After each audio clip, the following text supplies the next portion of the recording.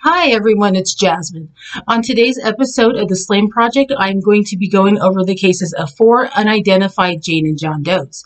And before we get into it, I just want to remind you that the artist composites are not supposed to be an exact likeliness, but they should trigger your memory if you knew the person in real life. And if you want to hear more videos on missing and murdered Indigenous people, click that subscribe button and don't forget to hit the notification bell. Now let's get right into it. Northern Cheyenne John Doe. NamUs number UP12251, Doe Network 849UMMT. In September 2003, the remains of a male were found several miles east of Lame Deer, Montana, on the Northern Cheyenne Indian Reservation. No estimated age was given, only described as being young. Hair color, height, and weight also were not available because only a skull and a femur bone were found. This is the only information online for this John Doe.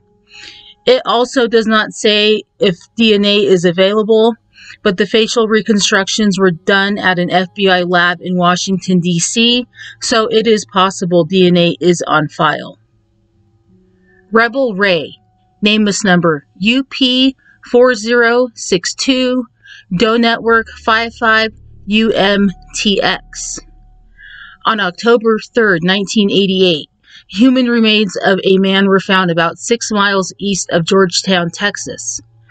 A man had called police to report that his dog had brought back a human skull to their house. A search in the area found more bones and clothing near Riverside Mobile Home Park. Also near the body was a faded red baseball cap with a red rebel flag. This is how John Doe received his name. Janet Franson is a retired homicide detective and she worked on this case. She was the one who named him Rebel Ray. After retirement, Janet has dedicated her life to the missing and murdered Indigenous peoples epidemic. She started a Facebook page called Lost and Missing in Indian Country. If you go to the page and click on photos, you will be able to see missing and unidentified people organized by state. Janet also has a Facebook page for Rebel Ray. I will link them both in the description box. Her credentials allow her the ability to add people to NamUs. So if you need help with this, she can assist you. Examination of the bones indicated that his nose had been previously broken and that his uh, arms appeared to be very muscular. He is estimated to be between 25 to 40 years old, between 5 foot 2 and 5 foot 5 inches tall, average build, had dark hair that was graying, and had an abscessed tooth. They thought time of death was 6 to 12 months prior. Cause of death was listed as undetermined. Authorities believe that Rebel Ray was either Caucasian, Hispanic, or Native American. In early 2019, Rebel Ray's case was picked up by the DNA Doe Project. After a couple failed extractions due to the age of the bones, they were finally able to obtain the correct amount of DNA for forensic genetic genealogy. His genetic report indicated that he was 68% Native American. However, Hispanic and Native American DNA are both intertwined because they are both indigenous to North America. So I guess it could be possible that Ray could be of Hispanic origin, but his DNA report also lists Siberian. So my guess is that he is Native American. Janet believes this as well and thinks that he is most likely Cherokee. The original sketch by Karen Taylor depicts a Native American nose. In October 2019, an updated sketch was produced by Natalie Murray using the latest computer technology. Early interviews in the case said that Rebel Ray may have worked at the mobile home park as a handyman or may have sold marijuana there. It was also said that he may have been an undocumented immigrant. Webber Falls Jane Doe. NamUs number UP9183.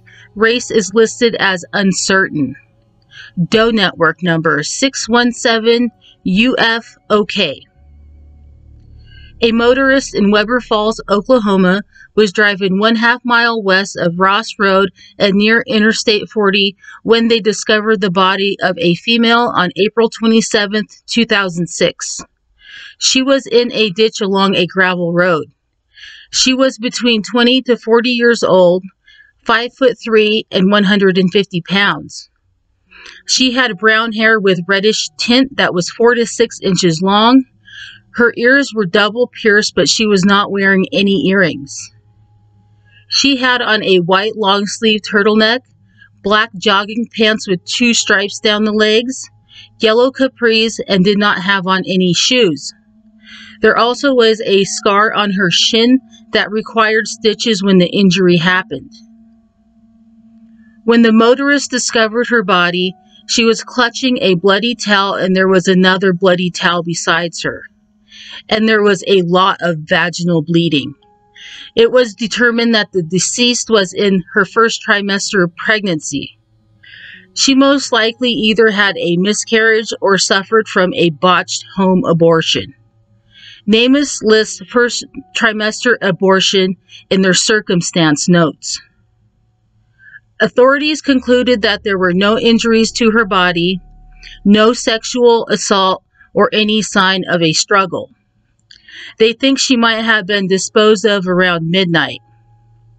Her fingerprints and DNA were ran and there were no hits. It is reported that her race is either Native American, Hispanic, or Asian. There was even speculation that she was in the country illegally. There was a Facebook post about this Jane Doe, and someone posted a picture of her headstone and said that she was buried in their family cemetery.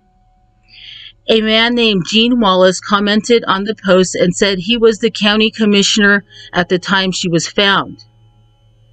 He said that Jane Doe was well dressed, had nice hair, had manicured fingernails, and was gently placed on the ground. They also ran several media articles seeking out anybody who may have known her. A very nice person contacted him and offered to pay for her funeral and burial. Gene also said that it was pretty obvious to everyone that she bled to death, but the autopsy never determined a cause of death. He also added that she had a smallpox vaccination scar, which leads him to believe she is American. Webber Falls Jane Doe was laid to rest in New Hope Cemetery on August 19, 2006. Her headstone reads, Found in forever's peaceful sleep, known only to God, loved by strangers. Helen Doe, also known as Cowlitz County Jane Doe. NamUs number UP10449, Doe Network, 919 UFWA. On May 14, 1991, two semi trucks collided near Kalama, Washington on Interstate 5. 26 year old Lester Harville was driving the semi that caused the crash. The truck was engulfed in flames, and efforts to save him and the passenger were unsuccessful. Both died in the crash. His passenger was Helen Doe. She is estimated to be between 20 to 29 years old, was between 5 feet and 5 feet 4 inches tall, and about 115 pounds. She had high cheekbones and had a severe case of scoliosis. It is said that she had bad teeth and had a gap in her front bottom teeth. As a result of the fire, her race, hair, and eye color are unknown, but it is believed she is Native American. Her fingerprints were also charred and her belongings were destroyed. Investigators checked area truck stops and spotted Helen Doe on surveillance tape getting into the semi. A witness from the truck stop was able to give a detailed description of her. At the time of the crash, she was wearing a black cowboy vest that had gray on top and possibly pink color. She was dark complected, had a long dark ponytail, and was wearing a feather earring. Lester was known to pick up hitchhikers as he drove his routes. Investigators tracked his movements by collecting fuel receipts. Lester left Missouri on May 7, 1991. He drove through Kansas, Colorado, Utah, Idaho, and Oregon before arriving in Washington on May 14, 1991. He could have picked up Helen Doe anywhere between Missouri and the truck stop in Tacoma. After dropping off his load, the pair were headed to Portland, Oregon. In January 2014, Helen Doe was exhumed for DNA and to create a composite sketch. Her remains are now located at the Cowlitz County Coroner's Office. If you would like to help identify Jane and John Doe's, you can upload your raw DNA file from 23andMe, Ancestry, or any other home DNA kit to GEDmatch or DNAsolves.com. You will have to click the opt in button to allow law enforcement to check your profile for possible matches. Native Americans are very underrepresented in the DNA databanks. So even though DNA profiles for Native Americans can be obtained for genetic genealogy, it might take a long time to see a match because there is nothing to compare it to. I took a 23andMe test for fun. I just wanted to see what my origins were. Well, last year I got a relative match and it was a first cousin. He is my aunt's son and was adopted out. He was looking for her and his other siblings. He was able to be reunited with them because I decided to take a DNA test at home for fun.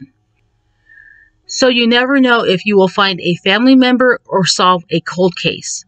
I highly recommend that if you are Native American or First Nations, that you please take a test and upload to GEDmatch and DNA Solves.